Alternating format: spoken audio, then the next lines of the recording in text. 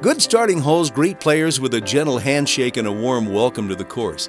This mid length par 4 does just that with its generous width and the tee shot landing area. Players who favor the left side near the fairway bunker will be rewarded, as this will open up the best angle and view into the green and avoid the blocking foreground bunker on the right.